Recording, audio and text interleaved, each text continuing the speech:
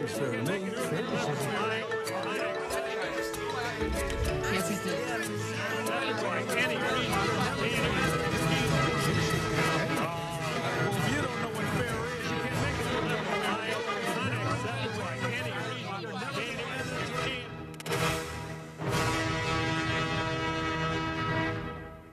Donnybrook is made possible by the support of the Betsy and Thomas Patterson Foundation and the members of 9PBS.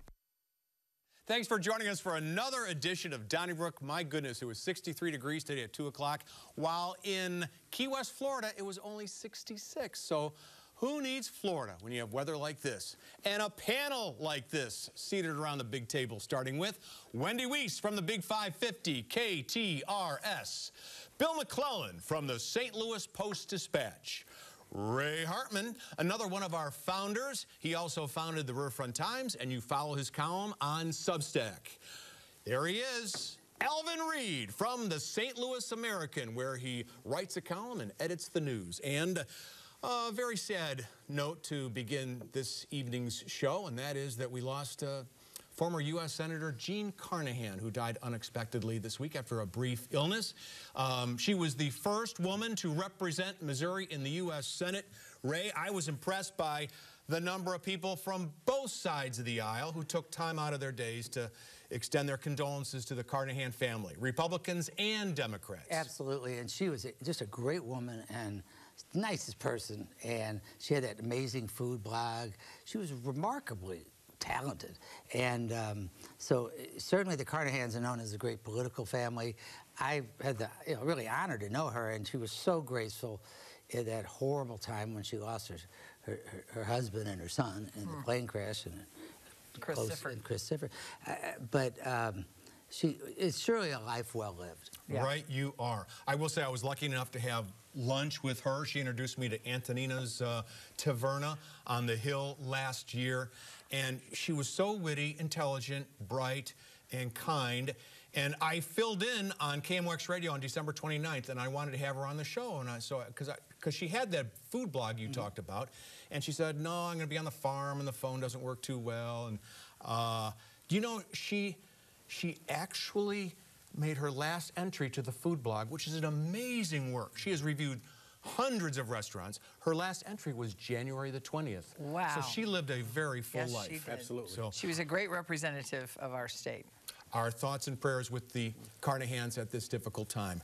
Ray, we're going to ask you to kick off tonight's uh, topics with a look at Cori Bush. The Congresswoman from St. Louis this week did confirm that the U.S. Department of Justice is investigating her over what they, I guess, think are some improprieties with campaign spending.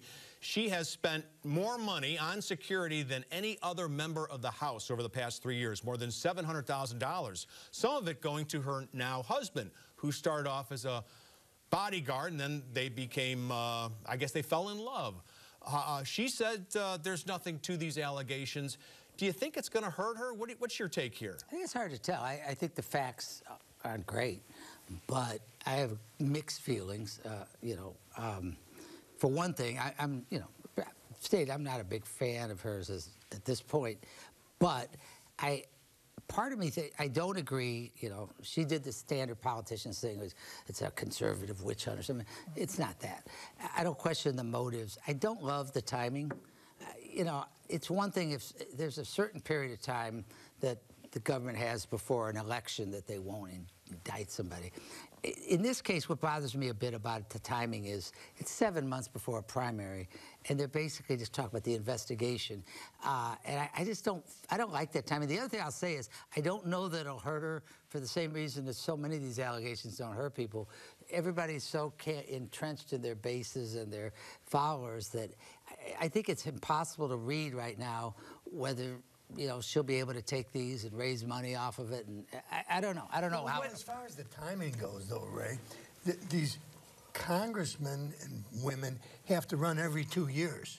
So there's you're always coming up on a primary or coming up on an election, and I think that. uh, You know, just given the fact that she's known for her defund the police stuff, that she's spending so much money on security raises eyebrows. And I think that as far as uh, the polit- politics go, I don't know whether it will hurt her, but I think it helps Biden when, you know, all, all of the Republicans are after him for being after all of the MAGA people, and you can say, hey, the senator from New Jersey, Menendez, Right. and and now the uh, liberal Democrat from Missouri, Cori Bush. Uh, I, and I, th- I think it will hurt her. I think I think it's more than just the amount of money that was spent. I think it is who it was spent with. And I'm just one of those people that believe that once I'm, if I ran for office and I'm in office, if you're my wife, daughter, whatever, you're not going to work in my office or for me or anything like that. Maybe I'll use my influence to get you a job someplace, not in government. But I just, I've always took a dim view of that, and I think there's still enough Americans that do. That's part of it. And Ray, I will tell you what, I think it'd be more so than a uh, liberal witch hunt than a conservative witch hunt. As far as Cori Bush is concerned, I think this might be coming from our own side. And that's the point that that's the point that uh, Yeah. Five on Your Side and some of the other um, articles were they, they were making uh, was that maybe she has because this is Joe Biden's Justice Department, so you know it was inferred that maybe she said something that he wasn't too keen on, and the fact that she's leaning into Cortney Merritt's position and he has so much experience husband. her husband. There are a lot of people with security experience if you're going to do that. Also, the fact that so many members of her team, her own team, had warned her against uh, doing this kind of thing Well, because of the appearance of it. It's impropriety. obvious. It's so ironic that she's the one who wants to defund the police and ends up spending the most money on security. I can recall when I would interview Claire McCaskill back in the days at KMOX Radio. Claire McCaskill was a U.S. senator. She would drive herself to one Memorial Drive. She had no assistant, no That's right. she bodyguard. wouldn't do it now. Yeah, well, well, She well, wouldn't I, do it I don't know about I don't now. know. would No, see, let Charlie, you Let me think, I was- you think if- times are more dangerous now than they were in the Charlie, 60s? after I don't think so. 2016. Oh, my Absolutely. I don't think so. Oh, you- 1968, what kind of memory do you have, Alvin Charlie. Reid? Charles, Charlie. Charles, I completely Oh. disagree with that. Oh. I don't The think in the 60s they were they were trailing uh, politicians to their favorite restaurants and their homes and everything else. I really object to the whole, and both sides do it. And in her case, trying to make the, the go to the motives of the prosecution. I think there's a case to be made here. As I said, it seems to me I wouldn't have any problem if they were bringing a case now. I just don't like the fact that they're just leaking it and it's out there now. But having said that, because I just don't, you know, because. When we're in the media, you can't you, you can't be against people leaking I did- stuff. We're always trying Okay. to But wait a minute. Wait, but didn't someone stuff. didn't someone say on the House floor Well, he that to. there is a No. That's investigation? Well, the sergeant at arms and, had to say. and rather than No. everybody, No, yeah, you're, right. you're They said The no. ser- we I'll, I'll give you that. it. The sergeant at arms. Could have been her own office Okay, that leaked here's it. the deal. Here's what I, as far as your point, mm-hmm. I don't have, and I, I think I said there's bad facts here. I'm not defending her at all, other than to say on the security point, I, the idea that you criticize somebody for having too much security because they're controversial, I just think it's wrong. I'm not worried about that. I don't like that. What Alvin pointed out is right. The fact Hmm. I that she's remain got her unconvinced. boyfriend slash but- husband wait, doing it just is one- the Okay. issue. Well, but one not that she additional has security. thought. She's not a D, she's a P. And this is still months after, while the war is raging in Gaza, months after she made what was really uh, believed to be around the world, unless, of course, you are pro Palestinian, uh, she calling for um, a, a- a withdrawal of Israeli aid the day of the massacre. That put a very, I think that put a very Okay, bright okay, target. real Let's move on. Real quick, the police don't protect Congress people. You might. I think the police. Let's say wherever I'm from, I think the police need to be looked into and they're bad and all that. But the police don't protect me. They're bad? No, no. I'm saying hypothetically, no Oh. matter where you're from, whatever problem you may have with the police, that's not who protects you when you're in Washington D.C. And I hate, Okay, I okay, hate okay. defund Apparently the not. police, but this has nothing to do But with it. Hey, Wendy Wiese, come on, let's, let's move Okay, along, okay, you guys. sorry, sorry. Uh, Wendy, Josh Hawley, the senior senator from the state of Missouri, got headlines all over the nation. And he was on NPR, every broadcast source talking about yesterday's judiciary, Senate judiciary meeting when there were five heads of social media sites, including Mark Zuckerberg from Meta. Meta, he oversees Facebook and Instagram and WhatsApp and others. And uh, after grilling Zuckerberg about some of the problems that Hawley sees with Instagram in particular, how there are predators who are abusing and threatening kids, he asked uh, Zuckerberg if he would apologize. Zuckerberg gets up, turns to the grieving families in the uh, audience, and doesn't take responsibility, but he says he's sorry for what they went through. Hawley had a great day. He's got Democrats and Republicans behind him on this matter. Did he win his reelection yesterday afternoon? It did not, it did not hurt him. It did not hurt him. He was, and I know how Senator Danforth feels about Senator Hawley, so it, it pains me to say this, and I mean it hmm. in a, as a compliment to Senator Hawley and a compliment to Senator Danforth. He reminded me of, of John Danforth. Um, just the, his composure, his demeanor. He he conveniently, as social media uh, was quick to point out, he never had he never demanded the same kind of apologies of the gun manufacturers after so many school shootings in, in terms of hearings.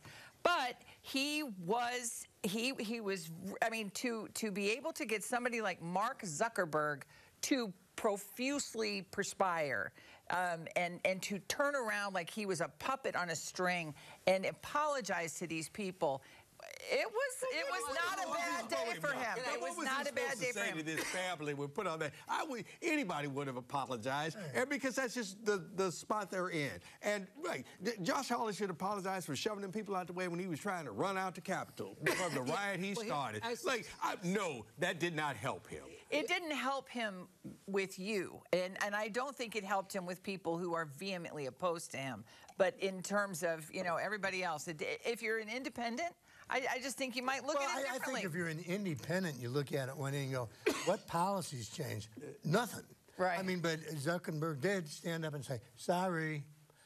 I mean, is that, how big of a victory is that really? I don't know. And I don't look at I. As far as his chances in Missouri, he's already the Cook political report knows he's solid Republican. He's got a what they consider a safe seat. I think it's slightly less safe than the conventional wisdom because we the, the big unknown is Trump. We don't know how far. We just don't know what's going to happen.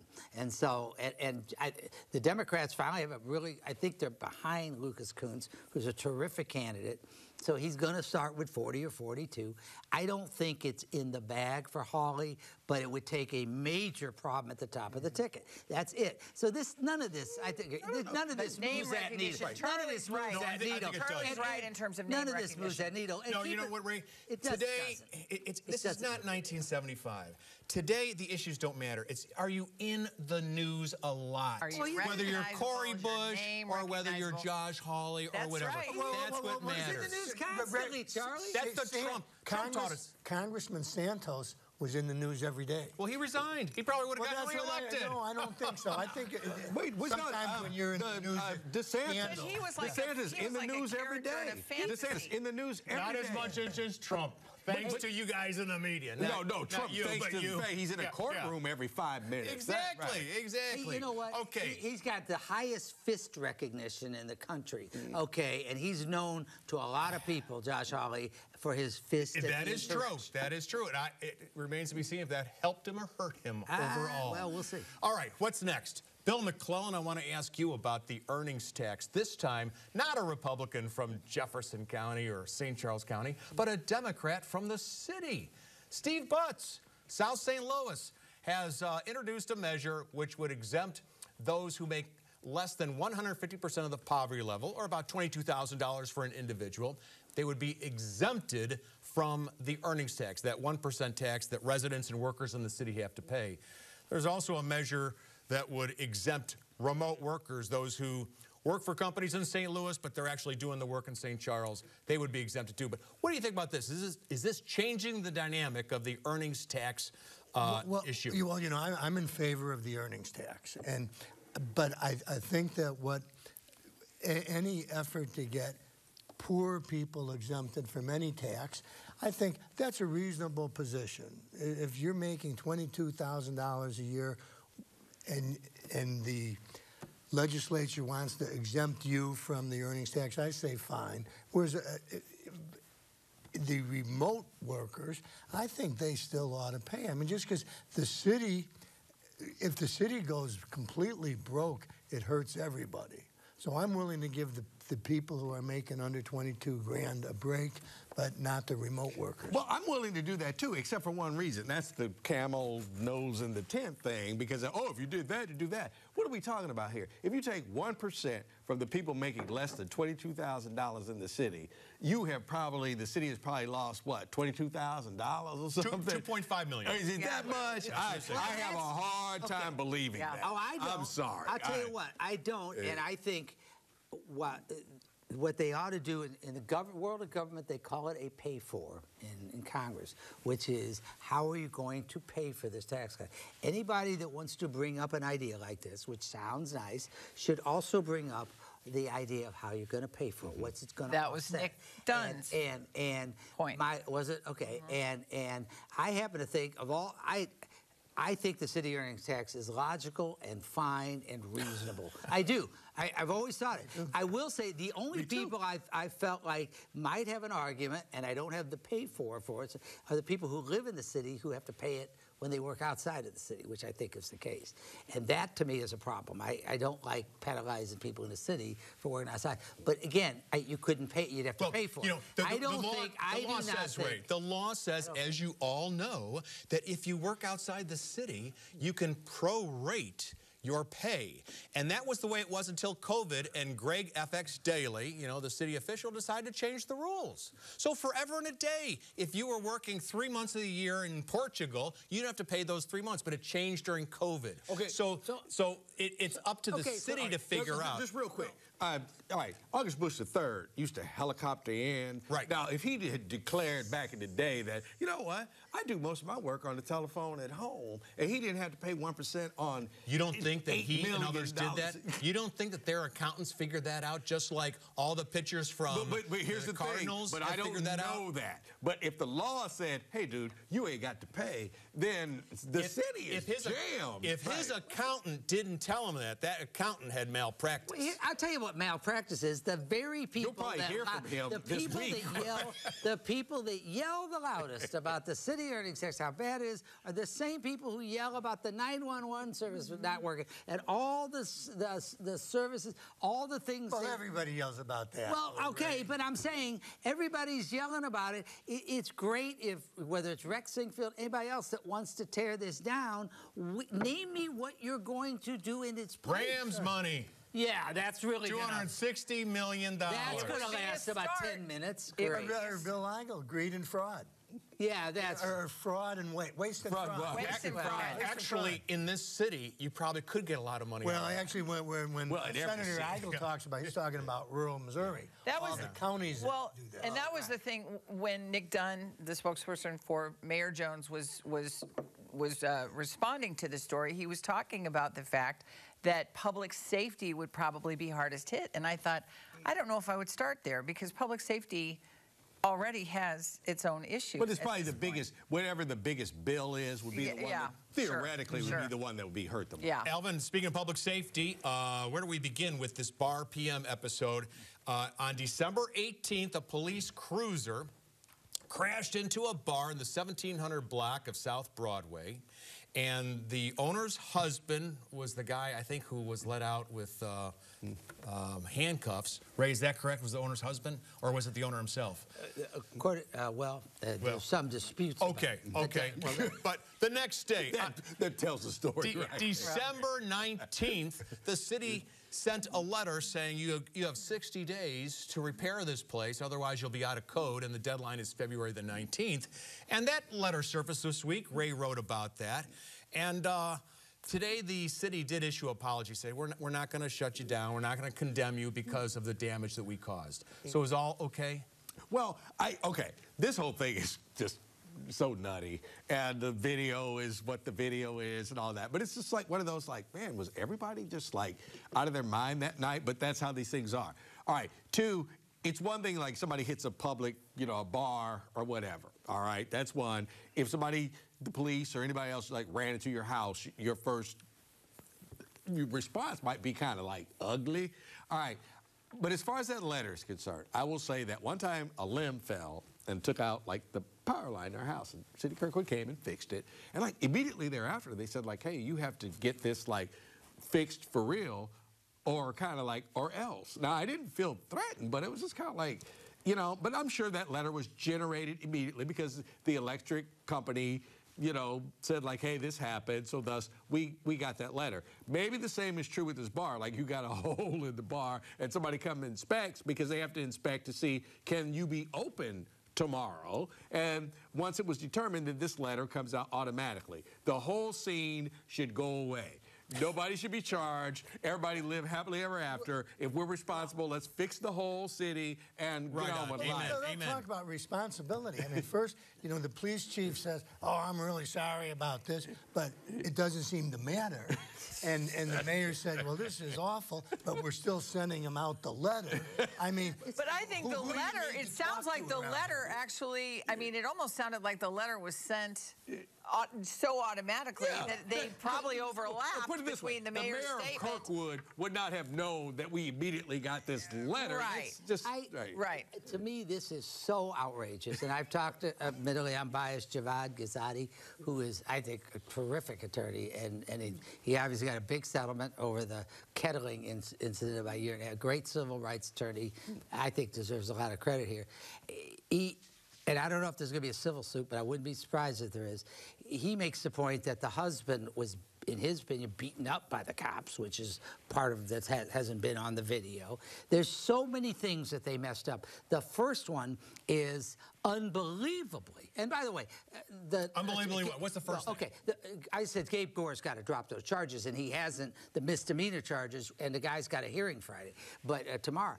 But unbelievably, if you saw the video, it, the police officer who's not identified, I don't ran. I mean, just happened to go across Broadway, rammed into this building.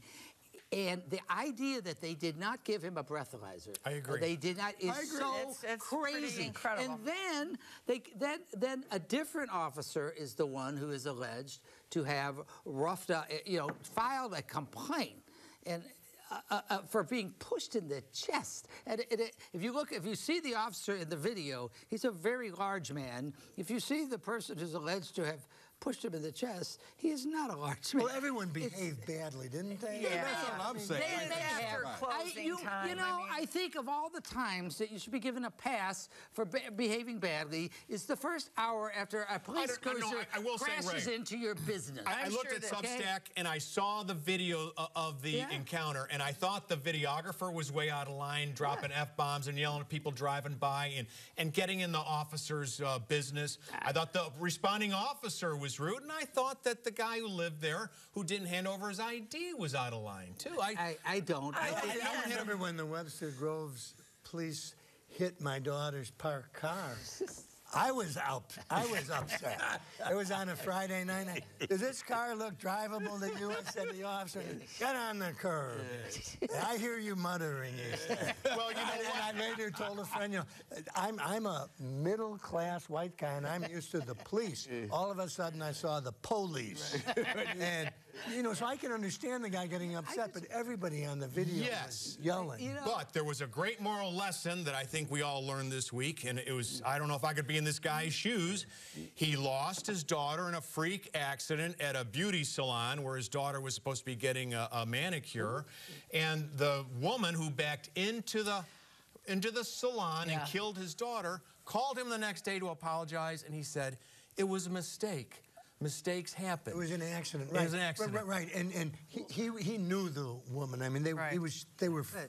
she was a friend of the daughter, and I thought so too. I thought, what a nice story. Yeah, right. And there it was on the front I'm- page of the And, Post. and they're filing papers right now to sue them. No, we don't know that to be I true. don't We don't know that to be true. so. I guess uh, that's don't. going to on what planet do the police crash and out of it was control. I'm sure, vehicle I'm sure and that go in we and would not somebody? be given a breathalyzer if we if the same thing happened. when to and how can if we crash into a bar, yeah, if we crash into a tree, we would get it. If we course. crash into a bar, in the Oh, middle if you the crash into a gay bar, oh, it would be hate crime. Hey, let's throw in the fact that before the video was out, the police first said, the police officially, now I'm not about the official police said it was a dog. It was a deer. And then It was a wasn't a dog. And then it was a curb, car and a curb. and a And then he was distracted by his police radio, which is a very bizarre excuse. And it's like, you know, the, the way this was, it's bad accidents happen. Coming way into you're right. was handled is courtroom near you. Very strange, it's true, and I think Alvin's right. Someone should have said, okay, I got connection with the building trades. Let's fix this up within 48 hours, and there, let's go do the GoFundMe, and uh, the Yeah. police, you got to send over some flowers and some steaks or whatever it is, Well, and well, let's they move should on. need a GoFundMe. I mean, the city should be picking this up. yeah, I agree, I agree. Absolutely. Okay. Absolutely. Let's see what people had to say about last week's program, shall we? Oh, I was disappointed by the pro Israeli opinions expressed by more than one panelist. People on both sides of this conflict have suffered unthinkable tragedies piled on top of each other, and the only hope for peace in the future is to look at both sides and find some common ground. That from Shelley Probst of University City. When did they ban the sale of gasoline downtown? Years ago, many of the parking garages and parking lots used to sell gasoline. The MAC used to have gas pumps on their parking lot. Mansion House used to have a gas station as part of that complex. That from Bill from Rock Hill Hager of Rock Hill.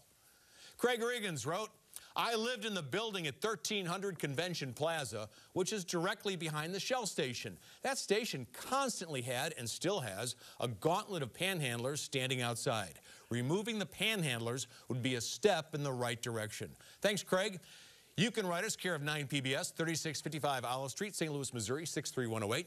Don't forget the emails, Donnybrook at 9pbs.org, and use hashtag DonnyBrookSTL on your social media. And we'll see what Josh Hawley has to say about that. Hey, uh, comment line, call it 314 512 9094. And listen to us on your favorite podcast source. There they are. And a quick reminder that Donny Bash is April the 13th, and you can get your tickets at 9pbs.org slash Donny Bash. It's the best deal in town. April, oh, it's April 11th. Okay, I got the date wrong. That's 5.30 p.m. Be there or be square. Thank you very much for joining us for this edition of Donnybrook. Stay warm, and we'll see you next week. Donnybrook is made possible by the support of the Betsy and Thomas Patterson Foundation and the members of 9PBS.